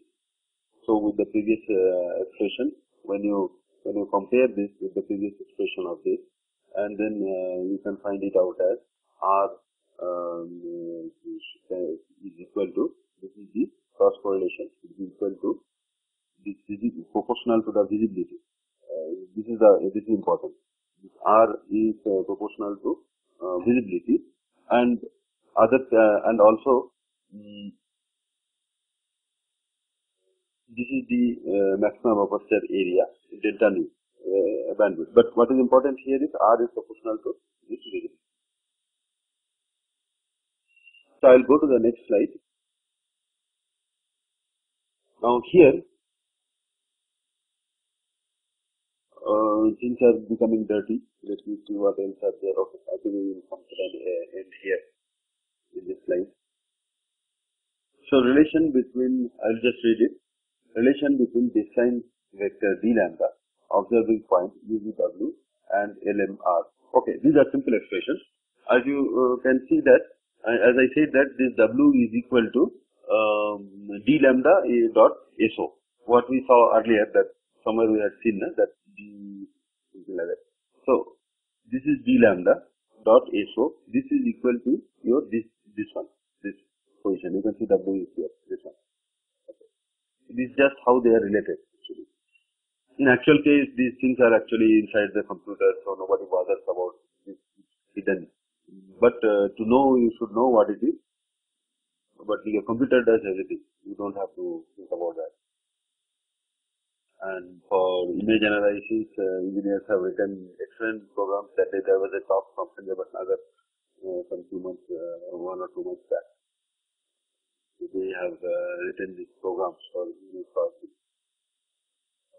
Now, uh, this is the relation between this um, infinitely small solid angle d omega with the L, uh, dl and dm of this LM coordinate and divided by 1 minus L square minus n square. As I said that L square plus m square plus n square is equal to unity. So this one uh, is coming there because L square plus m square has to be less than 1 and uh, d lambda dot s is also can be expressed as uh, u into l plus v into n plus w into n. n is the other coordinate of l and n. In case you have, uh, just to remind you that, and u v w, you know that um, uh, these are the things. This is w and this is u, this is v. And uh, the projection of this uh, of this design vector along this and this, you will get u and v from this. Now, this expression, uh, as you can think that it looks slightly uh, complicated, but uh, well, I have uh, written here the visibility in terms of u, v and w. Okay. You can see that this is equal to a double integral of um, this uh, normalized uh, aperture or the no normalized uh, uh, beam pattern of power pattern of the antenna and the intensity distribution divided by this particular um, function into exponent of this is visible here yeah 2 pi uh, this expression can see okay. so if you remember the expression for a Fourier transform you will see that there is a double integral and then exponent uh, of uh, minus 2 pi j into uh, some two coordinates and then integrated over um, another two coordinates here. That is a Fourier uh, transform. But here what is happening is in two dimensional Fourier transform you have only you have only two coordinates. Here you have three because n also is equal to you can express that 1 is equal to L square plus M square plus N square. So this should be actually N. So W into N. So U into L, UL plus Vn and Wn. This, this portion is the N. So if, can you just, uh, can we simplify this one? And this equation is the Van Cittert-Zernike uh, equation. I didn't uh, write it anywhere in this slide. Just remember this. Um, so if your source width, this, this dimension are smaller, much smaller, then you can actually neglect this, this term, this W into this term. And so whatever remains is uh, your turns out to be a two-dimensional Fourier transform equation. So you see here. For for a small source, L, M and M are small. So uh, this term you can see that 1 minus uh, is equal to 0 0.5 and this is much smaller than this is the approximation I have taken. That means this term I am comparing it with these two terms and we consider uh, this to be much smaller and so this, uh, um, this visibility expression instead of uh, three dimensions UVW, UVW, we are removing W and we are also removing the N. So it becomes approximately visibility of uh, UV. And so here you can see that this is the this expression simplified here and uh, the visibility as a function of u and v is equal to the uh, Fourier transform of uh, this is the Fourier transform equation you can see in dl and dm. And from this you generate the inverse equation. Inverse equation means you want to generate this from this uh, inverse Fourier transform and you get this. Actually today today whatever uh, image processing uh, software that are available, they follow this one. Now people have thought about that uh, we are uh, removing the W coordinate and doing a great mistake because we are losing much information, uh, especially when we are when the source is extended. And uh, if we use the W coordinate as well, then for extended sources we can directly form an image. That was uh, some of the part of it Sanjay Bhatnagar was saying that you might be remembering it. So, um, but uh, as of uh, what we have like uh, AIPS uh, and then uh, in the intermediate stage it came AIPS plus plus before what is that called?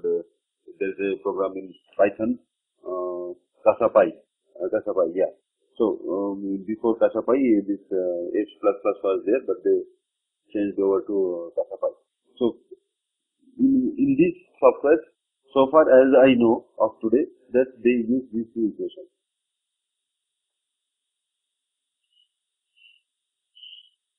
So finally, uh, what you will get here is, um, from the visibility, you would like to get the intensity distribution. This is your objective. That if you have the visibility, then uh, I have written it, uh, it should be actually the function of u and v, but w I have uh, just ignored this.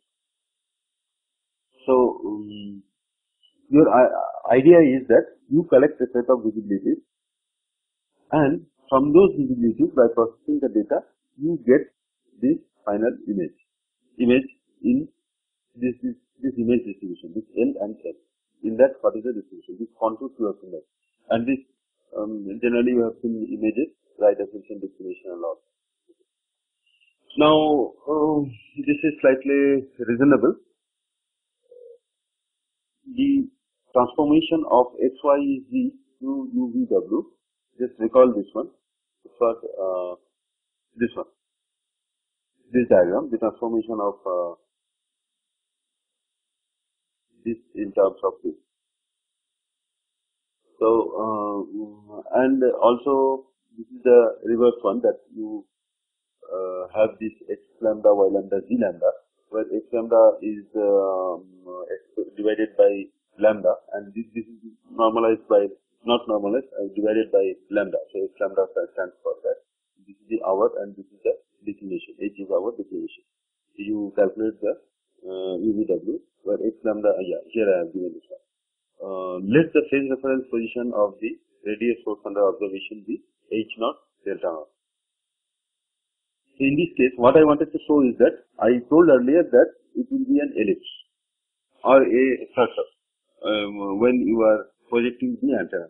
on the UV plane. Yes, it will be. The projection of the antenna, the geometrically, uh, it will be looking as ellipse or circle. But the visibility will not be. The visibility will appear uh, something like this. This will be two parts of this uh, ellipse uh, is broken up. And uh, this is the reason for this. So from this, we are we construct this uh, equation um, we would like to have a equation like u square plus v square is equal to something square plus something square, but it is not happening here.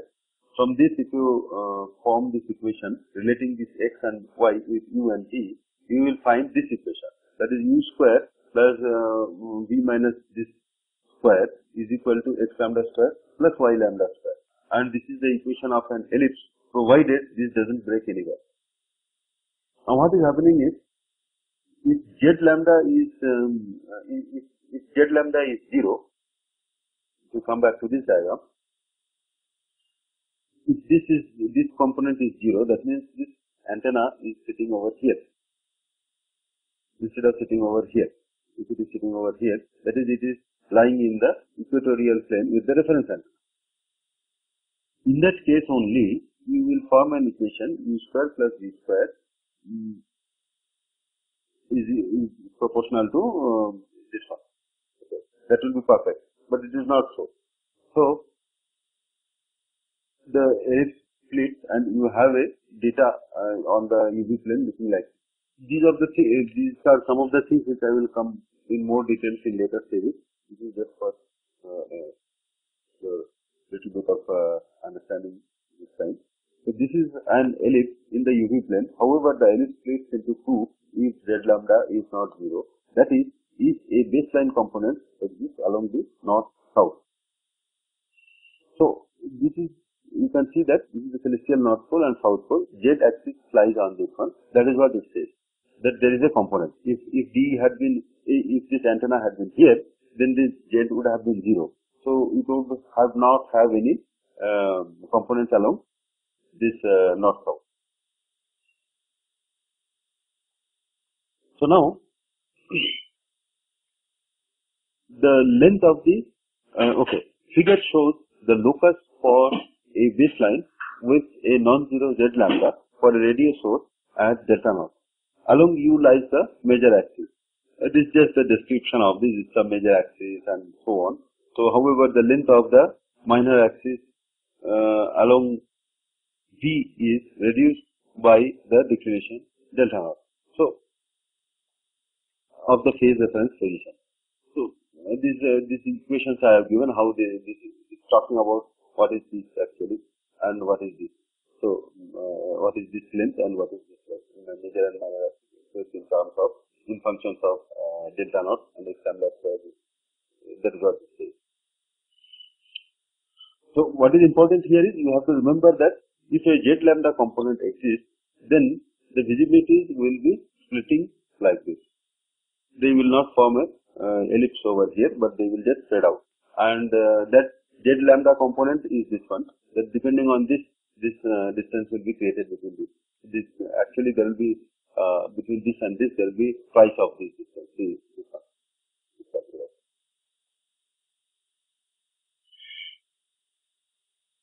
So, if you see the Some of you um, um, have uh, seen this, uh, um, uh, how things look like on UV plane about the data over the UV plane, how it looks like. So, you will see that they are not uh, evenly distributed. In some place they will be more more dense, and in some place they will be less. This is because of uh, the source you are observing at a, an angle, the angle of the source, and also the structure of your array. Um, this is a like geometry, you have a Y array or something like that, and also it may be uh, dependent on uh, yeah the the size also depends on the uh, frequency uh, and and so on. There may be uh, many other things, geographical longitude, uh, latitude, uh, especially the latitude. latitude plays a greater role in this. So the mapping of uh, this, uh, your uh, visibilities on the UV plane will be a peculiar structure and, and that will also be a function of time. Now, I'll just read this one. Figure shows the case of a north-south baseline for the different phase reference points under observation for different values of delta naught. The if the component of the baseline z lambda is made zero, the two halves of the ellipse join together. This is what I said earlier. That if z lambda, uh, lambda is made zero, then this ellipse will be combined. So here it says that what is the value of delta naught? These different curves are for different values of delta naught. So if a delta naught uh, is uh, 90 degrees, that is uh, the source at the uh, celestial uh, north pole or celestial south pole, let us say, then this is what you get. This one. When it is 70 degrees, you get a line something like this, straight up like this, and something like that for, situation. As the earth rotates, depending on delta naught, the locus, traces, and ellipse on the UV plane, visibility values are each instant are placed on the locus. The ellipse axis depending on d lambda uh, depend on d lambda, where d lambda is equal to uh, this one, this expression x uh, The UV plane can be densely filled using more interferometers with different d lambda and more observation time. Okay, so this is the this is the inference from this.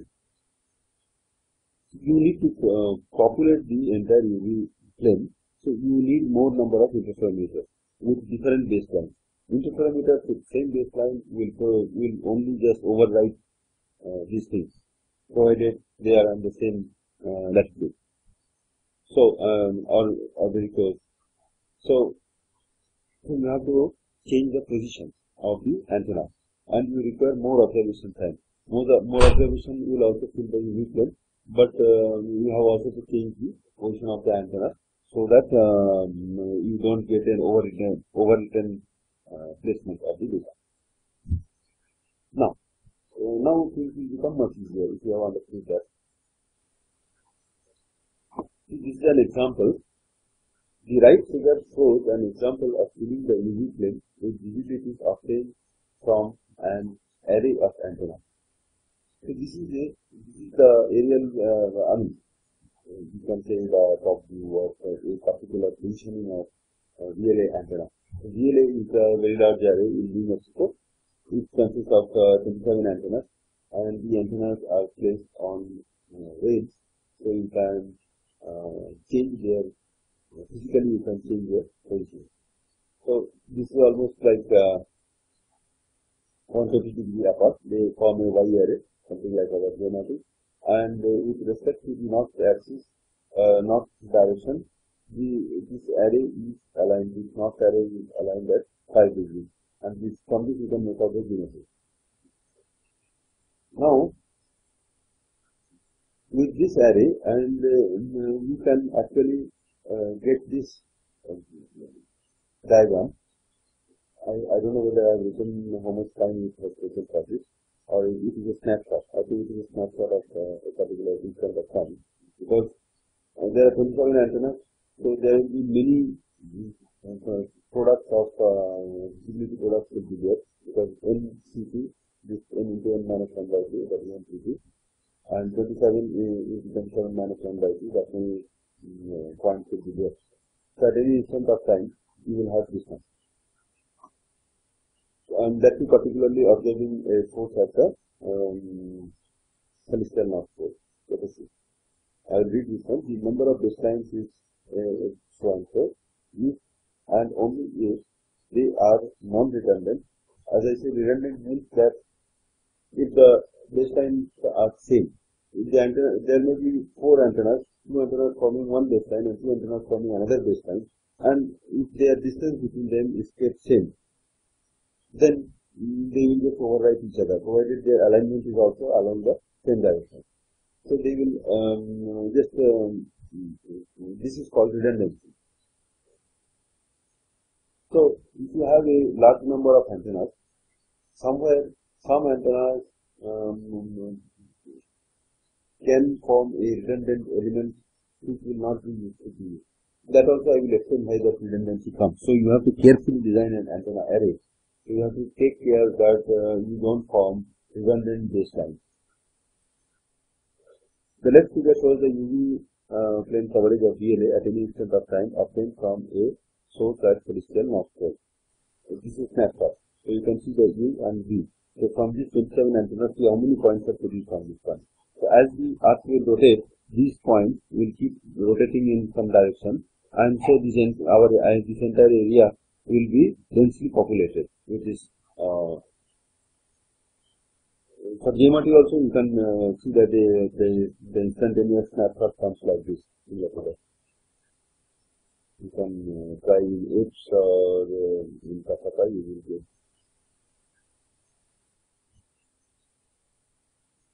Now, uh, as I said earlier on the uh, same thing that the your goal is to make the radio image.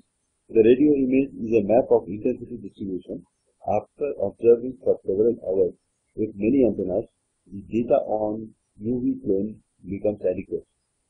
By using this relationship, this one, this intensity as a function of visibility, integration or um, uh, two-dimensional Fourier transform, um, obtain the intensity distribution ILM. So from this equation you get ILM because you know these uh, things you have got as data. This ILM is the radio image of the source. This is what it is. Uh, that you, you, when you plot this intensity distribution, you, that is the radio image of the source. That is what we are aiming for. Everywhere, uh, the radio aim for that. However, before such operation, one has to calibrate data uh, so that it is free from various instrumental errors, any radio interference, and effect of scintillation must be nullified before constructing the event. I have not talked anything about scintillation. All these things I will take up later. This a effect of the ionosphere on uh, frequencies um, at meter wavelengths is very uh, it produces artifacts in the data. So that, that is a very very very very small introduction to uh, our definition of scintillation. And uh, this is the uh, spiral galaxy M74 and um, this is from NRA. This is a radio image. Scintillation, we will come to that when we are going to that. Scintillation, some portions are very difficult to, uh, we will deal with that later. situations can kill your astronomer. So you see astronomers have many uh, enemies. Among that is the scintillation and other is we are uh, man-made radio noise. So uh, this is another of this. A data taken from several distant correlator arrays of all over the world may be combined to increase the resolution of the image. This is known as very long spectral study metric, VLBI. Okay. If you see our, uh, if you see a radio array, you will see that it will be uh, having a stretched arms. Arms means where antennas go away from the center, like we have uh, east, west, and south arms. So uh, there you can see that they are extended to a long distance. Now when you are making an image, the distance for a fixed wavelength, the distance between uh, two antennas, that is the baseline. Uh, if you uh, if you go to higher frequencies, I'm talking about d lambda, not d. d means uh, baseline length, and d lambda is uh, baseline length divided by uh, the frequency.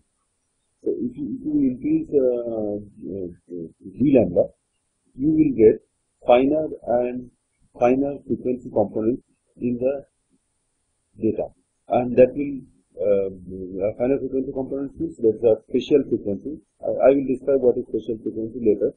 Uh, not uh, not a time frequency. Spatial frequency is like uh, mm, within the space.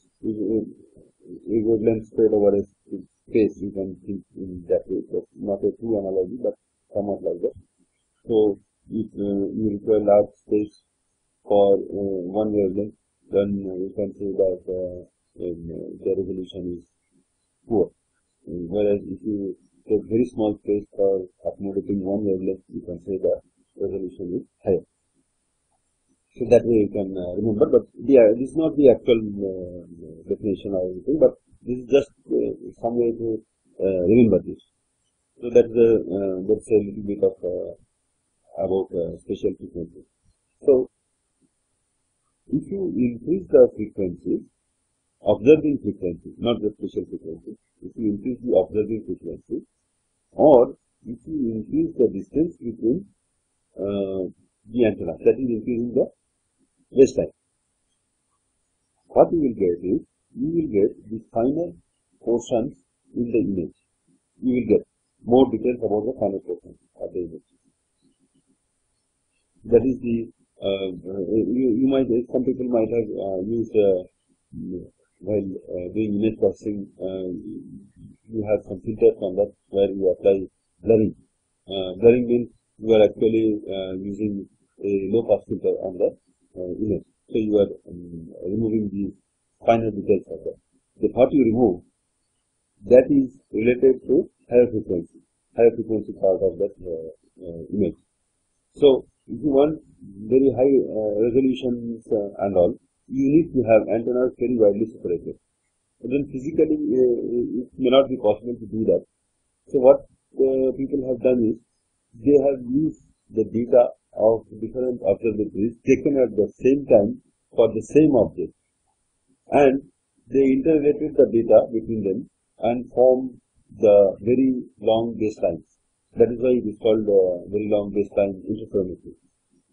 So this accuracy was dependent on the time or the, the clock they had chosen for calculating or relating the data with one another.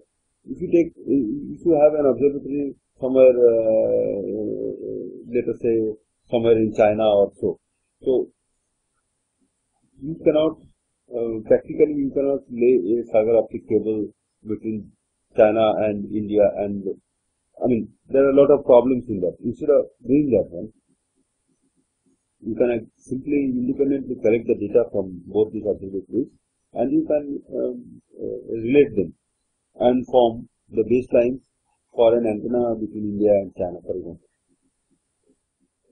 Hmm?